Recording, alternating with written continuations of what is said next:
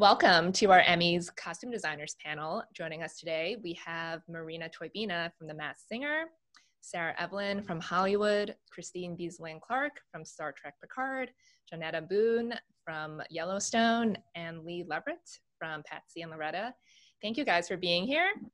Um, so first of all, I, uh, I want to know when you guys start a new project, how do you start designing uh, costumes or is it even designing? Do you start research depending on what the project is? Do you do tone boards?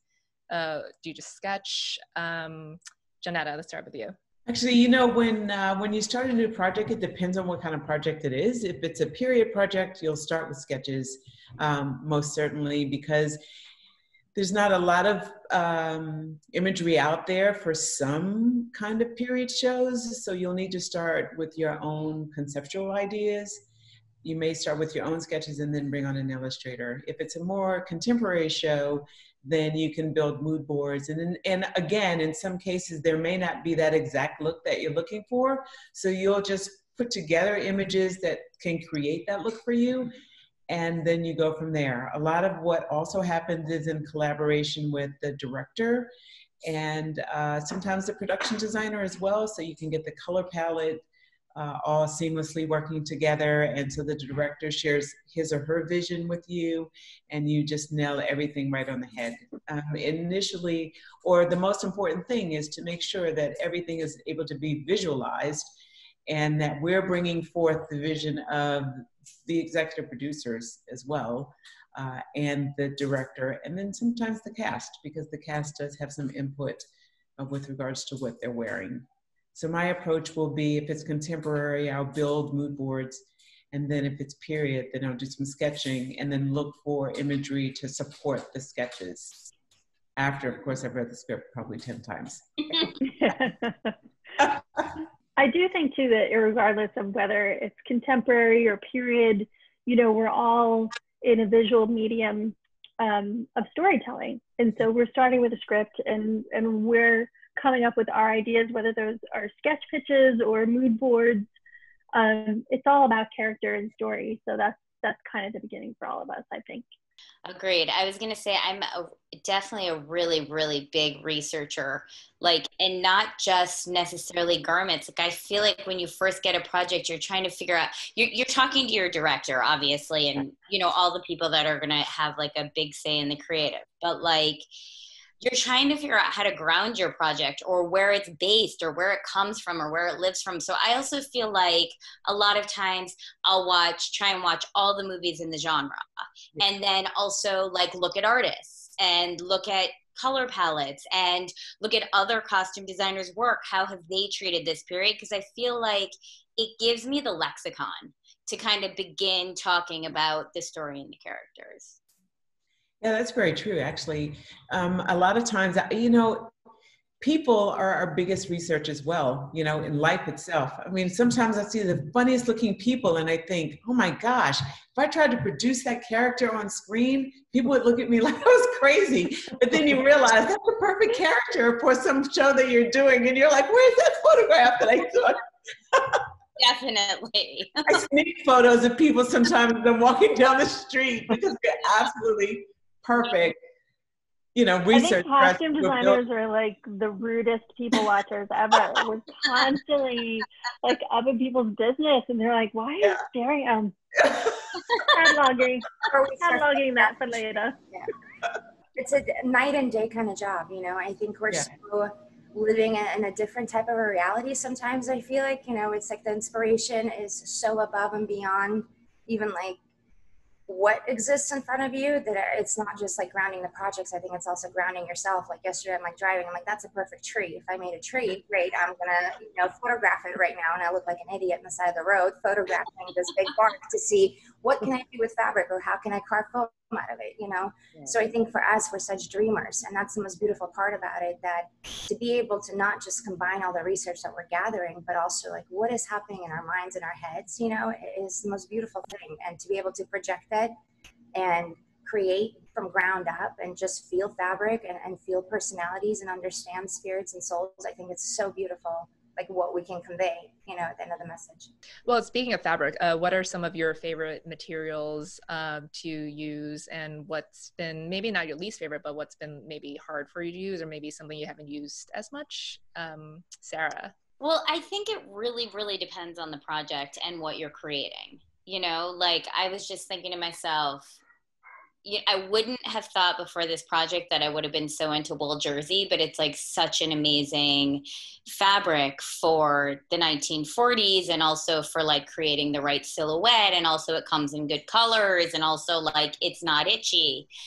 So I'm just thinking, like, and, and I think in by the same vein, it's like, well, the hardest stuff to use is going to be like super slippery silks or something that you're like, creating something you need to like work on the bias or you know something a fabric that you need to behave technically and it's really difficult to get it to behave technically and be washable and stand up you know to the test of time and be in the color you want.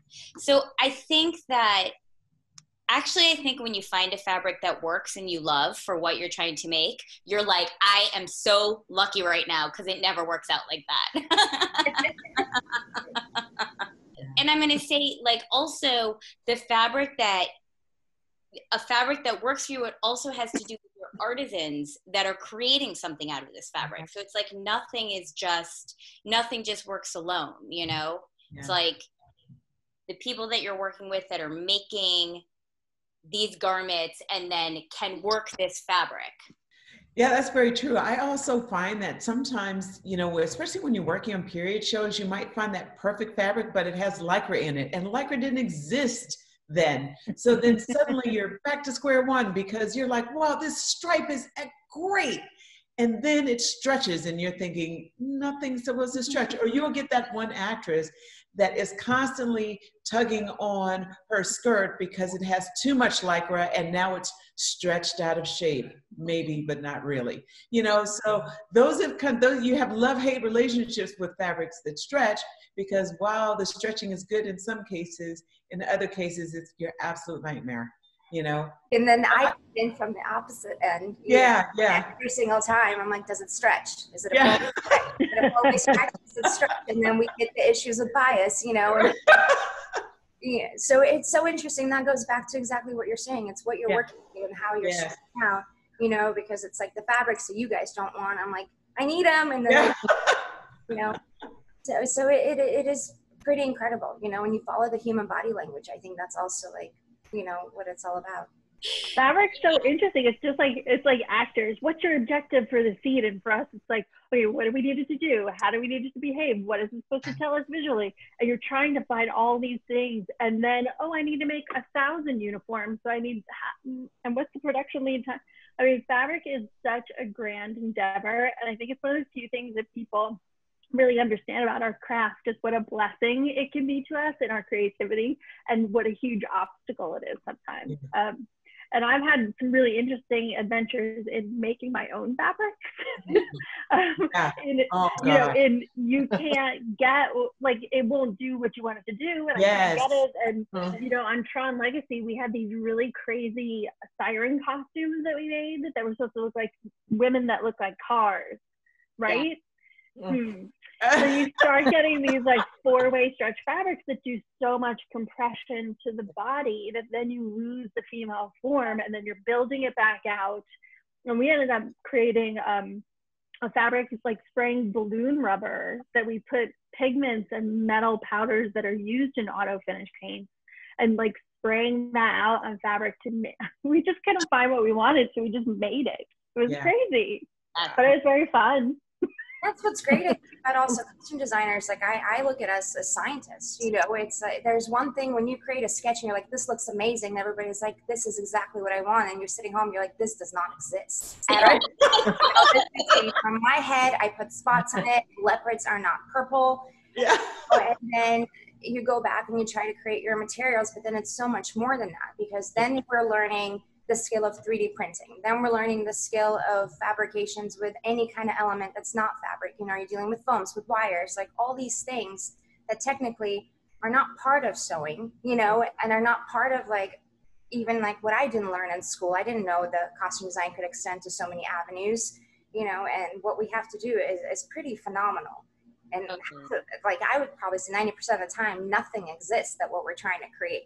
So it's, you know, it's that 10% of luck and 90% of truly research science, Yeah. you know, like collaborating with people, working with different artists on their own, trying to help us get the right colors, the right shapes, the right stretches, the right, you know, volume. It- It's, it's, it's a process.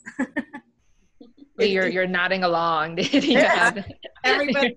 You just concur with Yes, I concur with everything everybody said. Totally. Well, um, do you guys have a favorite costume from a movie or TV show that you would just love to wear yourself? Oh.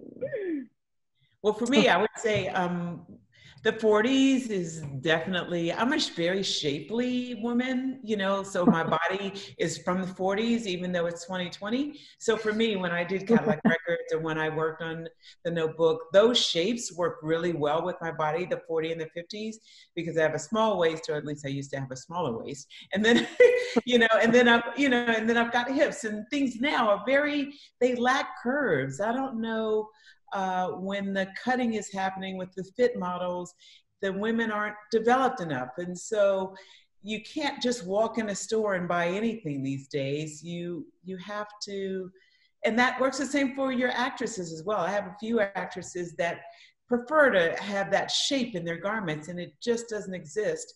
And so when you find that perfect period garment, then you replicate it in today's fabric if if it's a contemporary show um, to just sort of help along, give you some assistance with getting that shape exactly how you want it, and even the fabrications as well. So I love period movies for men as well. I mean, I love men's wear, I love women's wear, I love the 40s and the 50s, uh, just because women were so elegant. So I would wear that all day. I don't know if I'd wear many things on TV. I'm all about the comfort. So I think like um, one of my favorite movies is The Cell, um, and Eiko I thought was like pr- probably one of my favorite designers of all time. Like Yeah.